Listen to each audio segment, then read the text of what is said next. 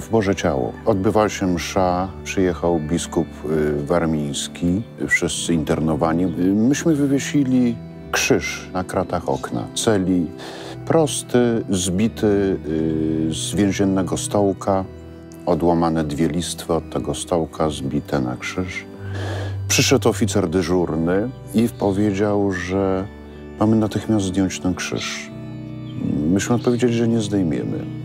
No było tylko wąskie przejście do okna, tak że on musiał się troszeczkę y, natrudzić, żeby dostać się do tego krzyża. Wówczas Antoni Macierewicz powiedział jedno zdanie.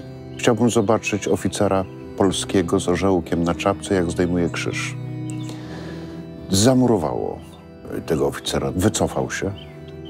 Słyszeliśmy potem, że się zbliża tak zwana atanda, czyli oddział specjalny do tłumienia buntu w więzieniu.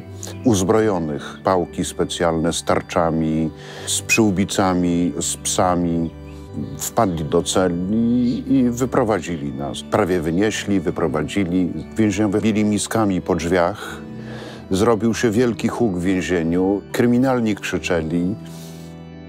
Wróciliśmy do celi, patrzymy na okno, a na oknie wisi krzyż. Nie zdjęto go, został tam. Później, jak rozprowadzano nas do innych ośrodków internowania, Antoni pojechał do Załęcza chyba, nas wieziono do Kwidzynia. No to pozostała sprawa, kto bierze ten krzyż. I było losowanie.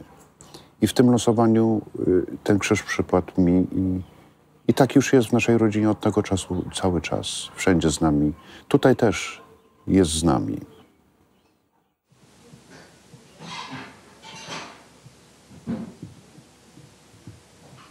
Co z tym krzyżem?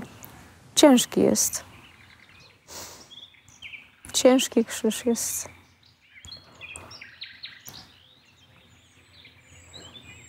Ale gdzie ty Kajus, tam ja Kaja.